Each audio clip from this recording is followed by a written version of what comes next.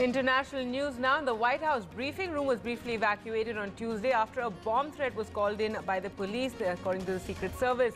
The Secret Service officers interrupted a live televised news briefing with White House Press Secretary Josh Earnest. Roughly 20 minutes later, journalists were allowed back in. Good Afternoon, everybody.